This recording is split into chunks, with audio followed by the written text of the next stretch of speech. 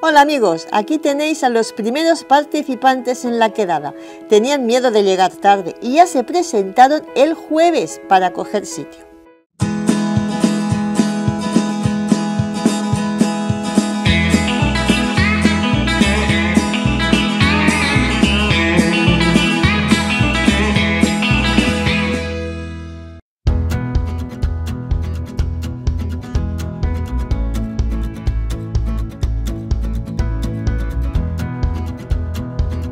Llegamos al área Viña als Vilars, donde tiene lugar esta quedada.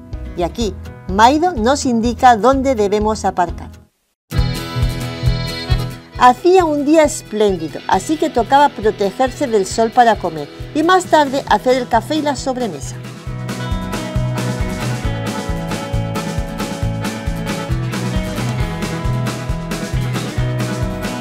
Bonitos momentos de confidencias y juegos. Con esta preciosa puesta de sol despedimos el día. Bueno, aquí estamos en la octava quedada de los Challenges 260 con la cámara. Buenos días, cámara. Buenos días. Con Estoy Pleni. en esa cosa porque nos hemos acabado de Bueno, levantar. yo creo que todas las quedadas hemos hecho. La primera que hay, hay un amanecido, mira, mira el cielo, mira. Uh. Bueno, es igual. Bueno. Nosotros ahora vamos a la bodega, o sea que... O sea que vamos a venir calentitos. Sí, sí, sí. Y la bodega, la de- bodega es justo aquí al lado porque estamos en el parking, aunque Así es un la área borrachera es corta. de, de la bodega. Bueno, ¿por dónde vamos? ¿por aquí o por allá? Eh, Ha dicho follow me, pues Follow el me, pues mira. Nacho dijo follow me, pues pues, vamos para allá. Buenos días, hombre, mira, hola, mira, todo listo para el wine tasting a las 10 de la mañana. De nuevo, buenos días, mira, hombre, buenos días, mira, más, ah, más de, el- de los autocaravanistas de Challenger 260, todo listo para, para la excursión de esta mañana, pero vaya tiempo que tenemos, mira. eh. Al mal tiempo, buena cara. Es lo que dice, es lo que dice. Como he dicho antes, vamos a hacer una visita a esta bodega, Viña Filas, que está justo delante de donde estamos aparcados estos días, para quedar. Empezó a llover otra vez. Aquí está Silvia. Oye, lo llevamos a casa.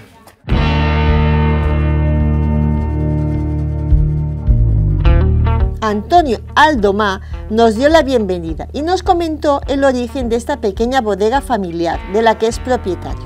Viña als Vilars era su sueño y este comenzó a hacerse realidad en el 2002 con la plantación de las primeras cepas en la Arbeca.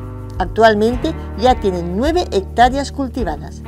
Antonio nos mostró la bodega y nos explicó los diferentes procesos para la elaboración del vino.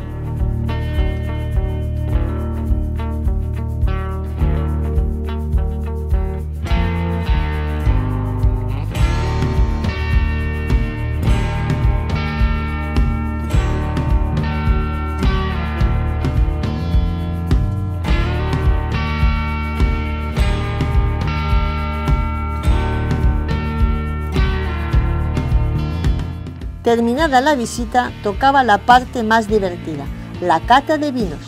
Fue toda una experiencia intentar percibir los aromas que él nos iba diciendo que teníamos que percibir. Se nota que al menos el mister y yo éramos novatos en la materia. Finalizada la visita, nos dirigimos al pueblo de la Arbeca. Allí nos estaba esperando el guía para mostrarnos el centro histórico del pueblo. Después de darnos la bienvenida, nos dirigimos a visitar el Museo del Aceite de Las Giles. Este antiguo molino de aceite de principios del siglo XIX, ahora restaurado, se encuentra en el centro del pueblo. Aquí vimos una prensa hidráulica y las grandes piedras con las que se molían las aceitunas. Dejó de funcionar después de la Guerra Civil.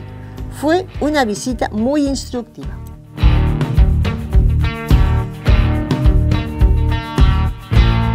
Siguiente parada, la iglesia de San Jaume al Mayor, construida durante el siglo XVII. Está dedicada al patrón de esta villa.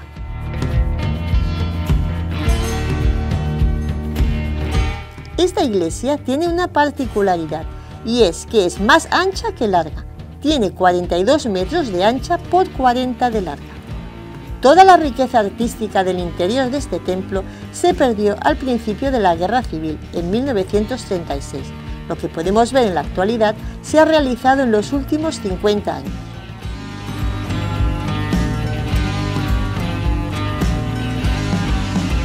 Cerca de la iglesia veremos una serie de columnas que parece ser pertenecieron a otros edificios de este pueblo.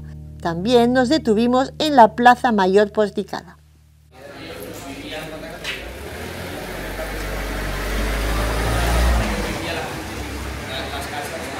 Cada arco es es decir, eh, uno construía un arco y el de la casa de al lado, también importante, pues quería tener su particularidad. Desde la Plaza Mayor nos dirigimos a ver un mural muy interesante que está frente a los restos del castillo. La parte baja del mismo actualmente es un gran depósito de agua. En Cataluña hay una expresión que dice, sembla que vinguis d'Arbeca. Parece que vengas de Arbeca, refiriéndose a una persona despistada. Sin embargo, el mural muestra a un joven triunfador. Una vez finalizada la visita al pueblo, regresamos cerca de la iglesia para entrar en el Museo Laltel, ya que su dueño nos invitó a que pasáramos cuando nos vio salir de la iglesia. La entrada es gratuita, aunque se acepta la voluntad, y realmente mereció la pena. Además, él nos contaba cosas súper interesantes de cada pieza. Ahí dentro podríamos haber pasado todo un día. El grupo 1 salió antes que nosotros para visitar primero el pueblo y luego la bodega. Aquí os dejamos con ellos.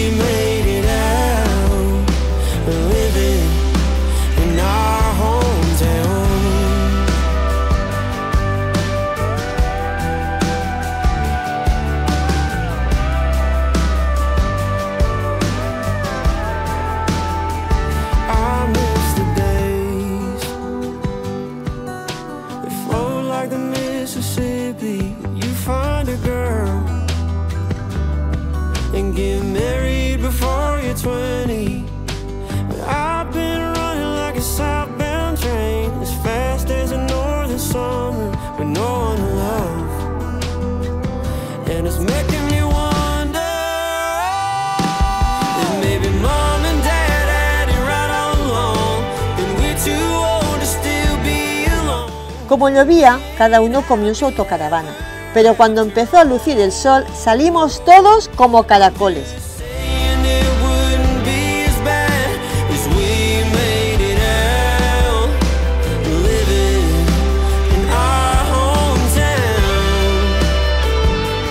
Tarde de risas y buen humor, y como no, en muy buena compañía, compartiendo dulces, anécdotas, viajes y sobre todo muchos, muchos grifos Cosas realmente interesantes y chulas que ya veréis próximamente.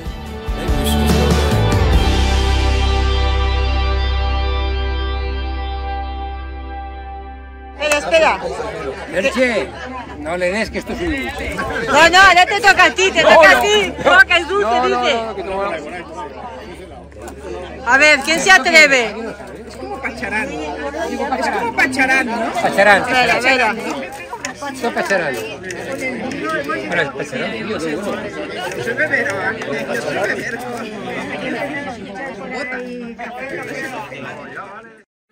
Buenos días, es nuestro segundo día aquí en la queda de los 260.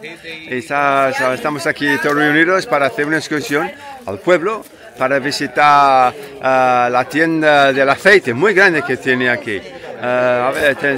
Te la vuelta para poder ver cómo está. Hombre, mira cámara, buenos días. Hola, buenos días. Acaba de decir, uh, acaba de decir la gente, vamos a, a comprar, mira la tienda de aceite. Sí, vamos a ver si compramos mucho, ¿no? Y con nuestra amiga Jose, hola Jose, buenos días.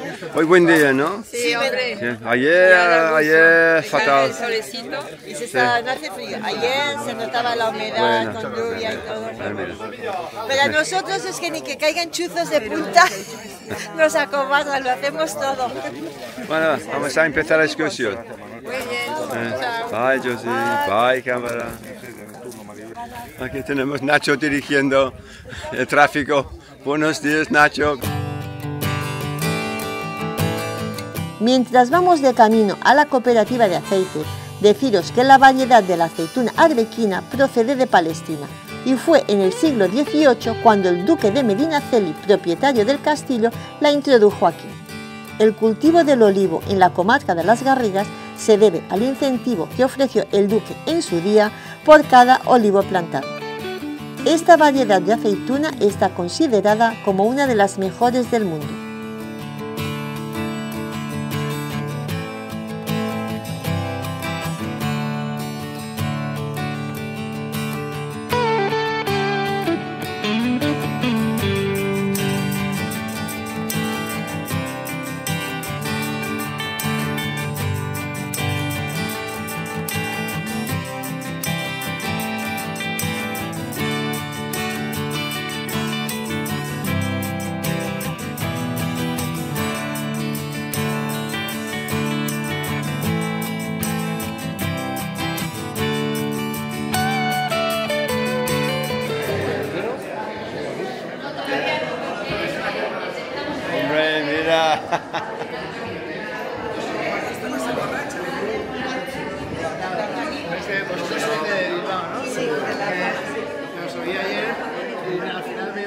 Pero ya. A quan està? I és quan havia pujat jo, és que d'anar posant a la cara.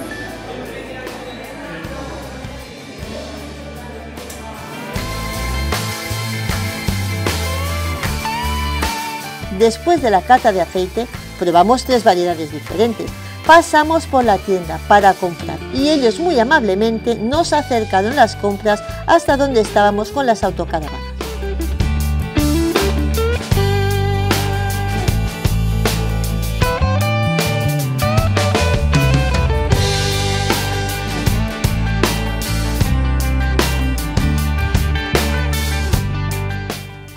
Relativamente temprano, hubieron algunos atrevidos que fueron andando hasta el poblado íbero Vilars, que está a unos 4 kilómetros del pueblo.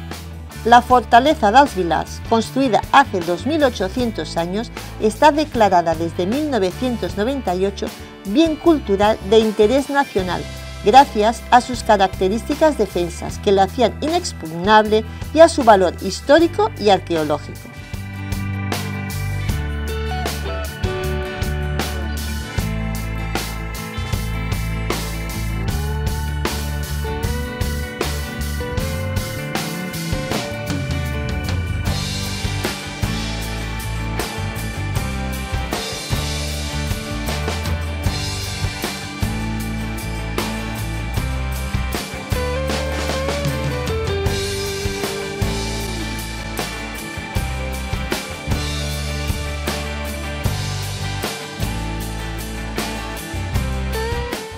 Hora de comer y hacer sobremesa.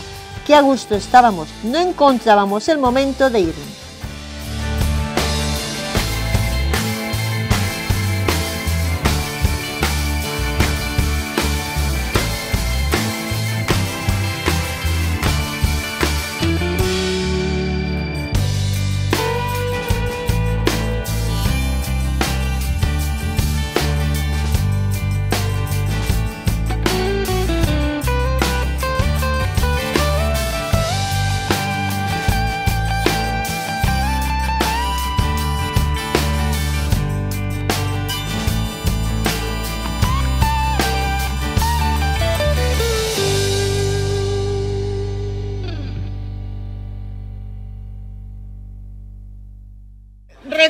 ¿Eh?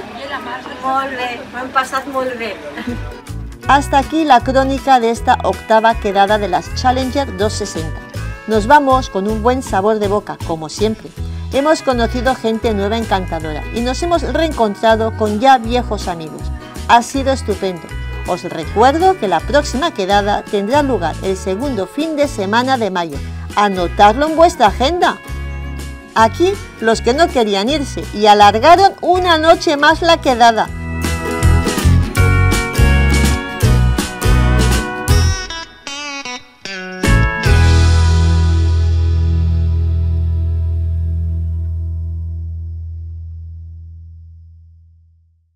Gracias por visitar nuestro canal. Si te ha gustado este vídeo, dale like, suscríbete si no estás suscrito y comparte y comenta con tus amigos. Bye.